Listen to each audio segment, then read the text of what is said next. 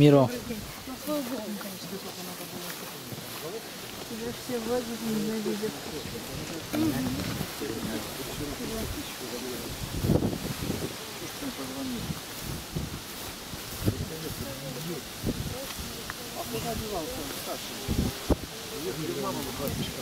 Все. Так он не закончил, да? И Лена уехала. Все,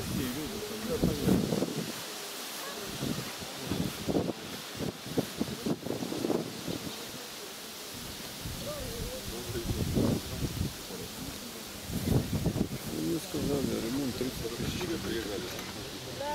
Ну да. Не 30, не 30, может. Сегодня не праздник, памятная дата. Так что можете работать. И... Сейчас я скажу, то зайдет. И на одного и того же, смотри, много не делай, что схватил.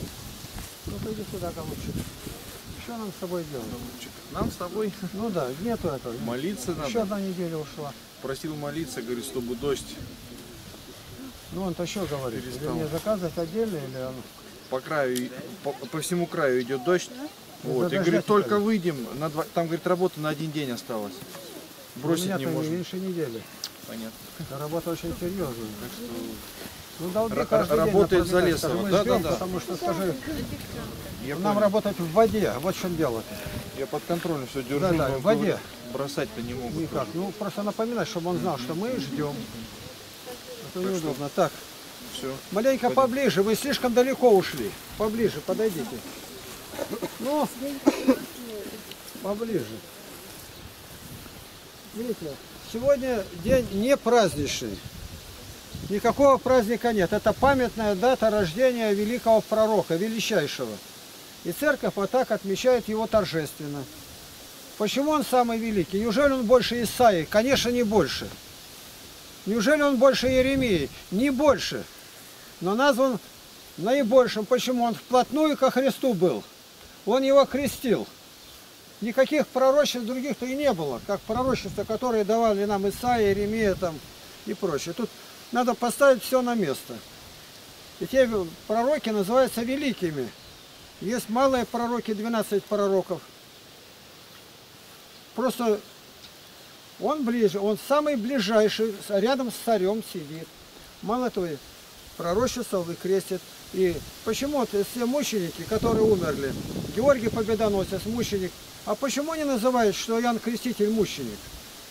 Самое высочайшее, что в церкви есть название, это апостол, который умер за Христа. Здесь даже мучеником не называются. Иоанн Креститель, то есть крещение Христа церковь возвысила до такой степени, что даже мученичество как будто бы за ним стоит следом. И также мы и говорим, Иоанн Креститель мученик или замученный. Тут даже слова-то надо смотреть, какое за слово, за каким стоит. Нам разницы нет, кого первого назвать, Прескилу или Акилу. Прескила – женщина, Акила – ее муж. И апостол Павел варьирует, то ее поставит, то его. Иоанн Златоуст это подробно описывает, почему. А тут ни одного нет слова, которое не на, ста- не на своем месте стояло бы. И это все мы узнаем от святых отцов. Я бы никогда не обратил внимания. Пример. Шестая глава книга пророка Исаия. В год смерти царя Озии видел я Господа, сидящего на престоле высоком и превознесенном, и края рис его наполняли храм. Первые слова в год смерти царя Озии я вообще ни, ни за что, ну, умер, да и умер. А Ян Златоуст говорит шесть проповедей. Шесть. Это значит, то, что мы не видим, для нас это или туманно, или вообще не существует. А почему? Царя Озию Бог возвысил. Он был возлюблен Богом. И над милость его сердца, как я сегодня рассказывал об Евлогии. К царю стал ближний, гулять начал, пиршествовать блистательно, бедняков не принимает, отталкивает, ну, размышления у парадного подъезда Некрасова, читайте. Гони их в шею. И пошли, повторяя, суди его Бог, разводя безнадежно руками. И покуда я видеть их мог, с непокрытыми шли головами. И вот здесь такая же самая история. Надо вот самое малое вникнуть. И когда надмилось сердце его, он придумал что? А зачем вообще священники-то? То есть он впал в секту, в сектантский дух. Да я и сам могу это. Кадила взял и покадить надо. Что ему хотелось-то? Дыму не хватало. Никто не знает. Но написано надмилость. А выше царя священник только. А царь-то думает, он главный-то.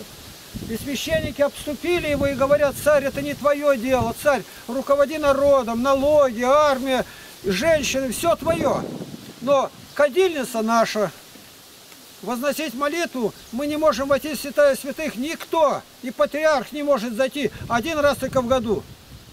А если другое время Бог убил на месте? Это мы привыкли так думать, а что особенного?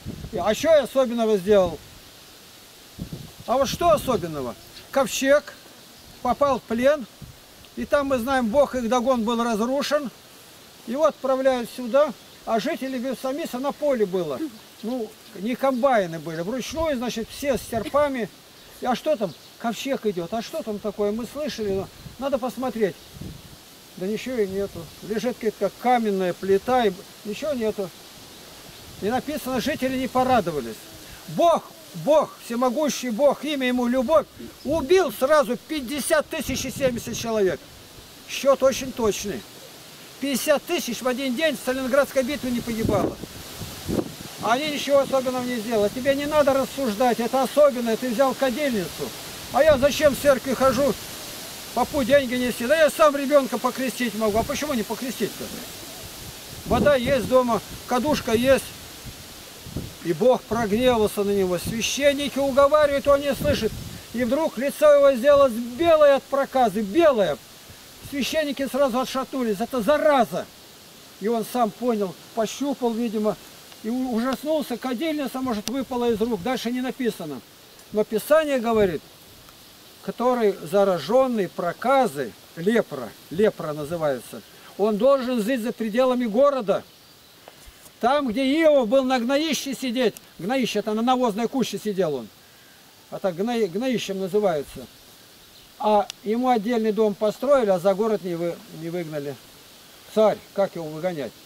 Ну не такой, ну а как его выгнать-то? Сын его стал править. И за то, что его не выгнали, за то, что он был здесь, нарушена заповедь Божия, и Бог отнял дух свой от всего народа. И пророк Исаия не мог пророчествовать. Даже не верится. Из одной кадильницы и такого пророка, а его называют ветхозаветним евангелистом. 53-я роковая глава для евреев, которые вообще боятся говорить о ней взял грехи наши, немощи, что он умер за нас, изъязвен был. Это понятно. Ну что он сделал Исаия-то? Исаия вообще ни при чем. Исаия не, не священник, это не Иезекииль, он не был там. Но несмотря ни на что, Бог отнял все от Израиля священнодействия. И в год смерти царя Ози пророку открылось небо. В год смерти его я видел Господа. Может не в первый день, только в год в тот же самый. И вот сегодня прокаженные там сидят, и они начинают руководить народом. Где они? В Америке, в России, разве нет? И берутся за священнодействие. Евангелие стали отнимать. И не какие-то Евангелия, на которых написано по благословению святейшего патриарха Кирилла, изданные, изымают. Это мне сейчас известие поступает. Арестованы Библии. Те, которые поступали там не по благословению, синодального перевода изданий.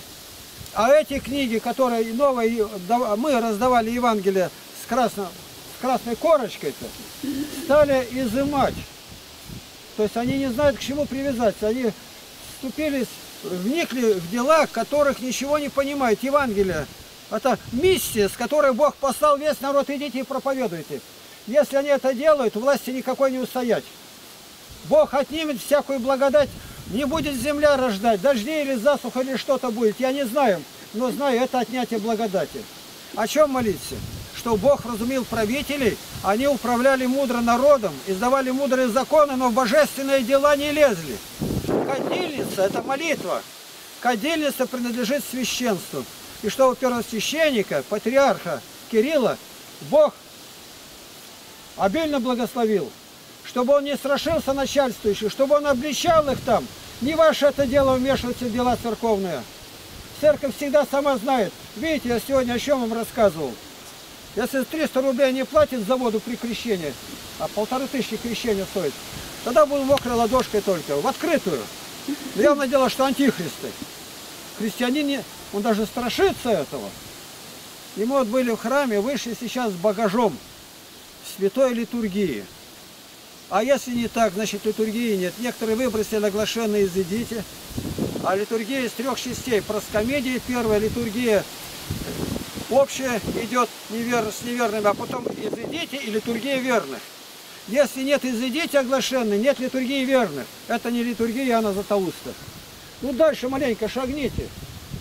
У нас сестра Нина Жолнерова повела сестру готовить к крещению. И говорит, как оглашенные изыдите скажут, так ты выйди, ты готовишься к крещению. Стояла, гляжу, уже все. Да как где же оглашенные изыдите? Гляжу, моя сестра, которая к крещению готовится, подходит, причащается. Я говорю, ты, ты что делаешь-то?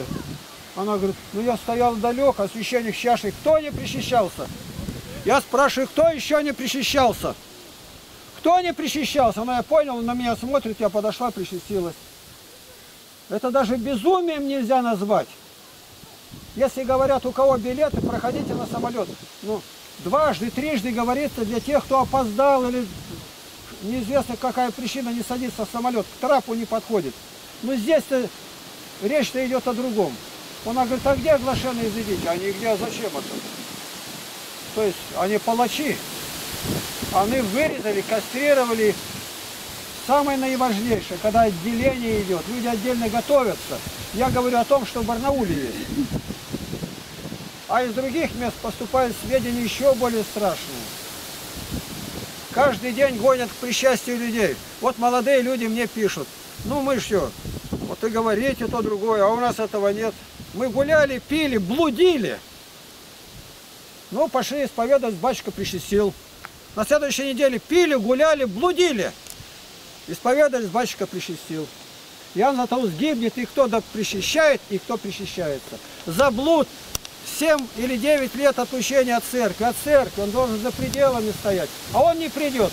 Это его участь, его выбор. Мы заботимся о большинстве, а Бог заботится о качестве. А где большинство? Там, где Бог. Где Бога нет, там ничего нет. И не надо бояться людей, много. Один вопрос. Ты чадо Божие, а где? В крещении. Ему имя дается.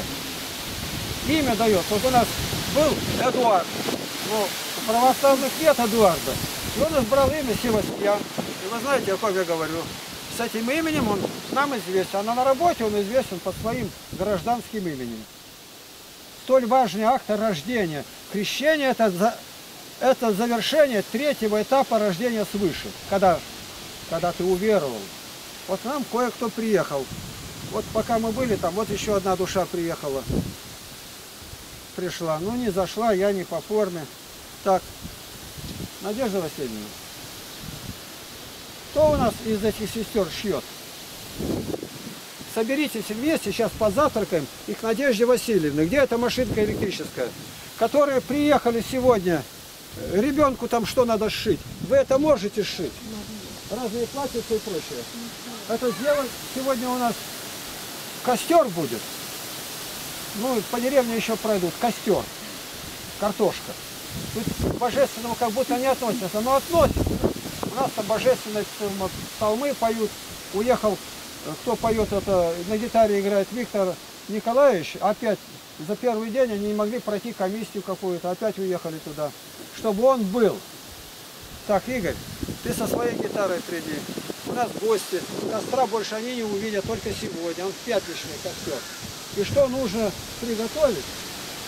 Женщины, мужчины выходят. И не было надписи. Где надписи пришитые, может быть, можно срезать там у ребенка там. Или. Потому что это правило наше называется дресс-код. Дресс это одежда, код форма. Вон они как раз и бегают, я говорю они. Видишь, как им хорошо здесь. Так, возьми это на себя. Сейчас только позавтракаем и сразу займитесь привести себя в порядок. Наши люди-то, которые в прошлом году батюшка-то не знает, они приняли крещение. Зоновы, вот пришли. Вот, подойди.